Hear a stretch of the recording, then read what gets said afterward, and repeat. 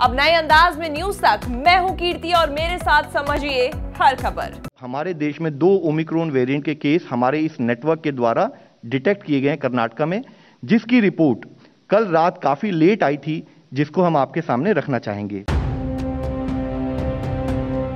जिसका डर था वही हो गया। सरकार की लाख कोशिशों के बावजूद भी आखिरकार कोरोना वायरस का नया और खतरनाक वेरिएंट ओमिक्रॉन देश में पहुँच ही गया। नए वायरस को लेकर चिंता के बीच स्वास्थ्य मंत्रालय ने प्रेस कॉन्फ्रेंस की, जिसमें ओमिक्रॉन के बारे में जानकारी दी गई।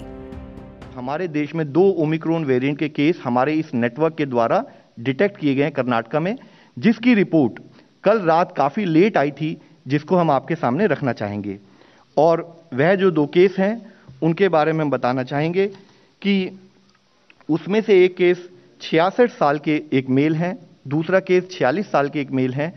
और जैसे कि हमारा प्रोटोकॉल है, ना कि हमारे इंसाकॉग नेटवर्क ने उसको समय पर डिटेक्ट किया, बल्कि as a protocol as a practice जो हमारी कॉन्टैक्ट ट्रेसिंग की पद्धति भी शुरू हुई है, और जितने उनके प्राइमरी कॉन्टैक्ट हैं और जितने सेकेंडरी कॉन्टैक्ट हैं, उन सबको ट्रेस कर लिया गया है और उन सबकी टेस्टिंग करके उनको एज पर प्रोटोकॉल हम कोऑर्डिनेट कर रहे हैं। विशेषज्ञों का हवाला देते हुए स्वास्थ्य मंत्रालय ने बताया कि कोरोना का ओमिक्रोन वेरिएंट डेल्टा के मुकाबले पाँच गुना ज़्यादा खतरनाक है और ये बाकी के मुकाबले तेज़ी से फैल सकता है। कि इस पर्टिकुलर वेरिएंट के बारे में कुछ हद तक ये कहा जा रहा है जबकि एविडेंस और आनी बाकी है कि हो सकता है कि ये इंक्रीज इन्फेक्टिविटी हो इसकी और इसकी इंक्रीज ट्रांसमिसिबिलिटी हो। तो जो इसमें जो म्यूटेशन पाए गए हैं, उससे एक प्रिडिक्शन जो डॉक्टर एरिक उन्होंने की है, जो कि अमेरिकन साइंटिस्ट इन वॉशिंगटन है और हार्वर्ड चैन स्कूल से है पब्लिक हेल्थ से तो उनकी एक प्रोडिक्शन एक मॉडलिंग के हिसाब से उन्होंने इसके बारे में बताया कि हो सकता है कि पाँच गुना अधिक इन्फेक्शस हो। और जो ये वायरस होता है, जहाँ पर कि मुख्यतः स्पाइक प्रोटीन जिसको हम बोलते हैं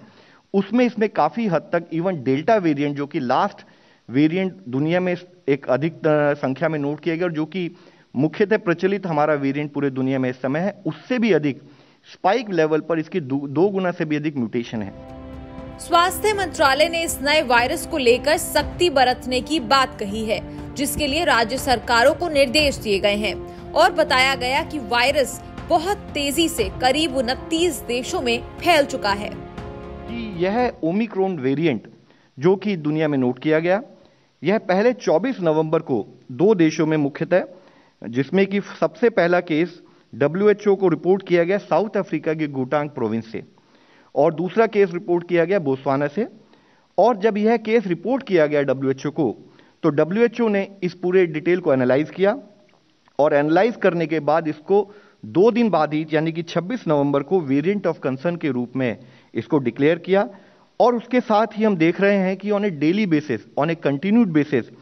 इस पर्टिकुलर वेरिएंट से संबंधित केसेस की दूसरे देशों में भी नोट किया जा रहा है। और जैसे कि 27 को पाँच नए देश 28 नवंबर को दो देश 29 नवंबर को चार और देश, इसी तरह से अगर फ़र्स्ट दिसंबर को देखें तो नौ और देशों में इस पर्टिकुलर वेरिएंट को नोट किया गया। इससे संबंध में हम बताना चाहेंगे कि अगर हम देखें नेक्स्ट तो हम पाते हैं कि करीब 29 देशों में तीन सौ तिहत्तर केस इस ओमिक्रोन वेरिएंट के अब तक नोट किए जा चुके हैं और हमारे देश में इसकी ओवरऑल मॉनिटरिंग भी की जा रही है।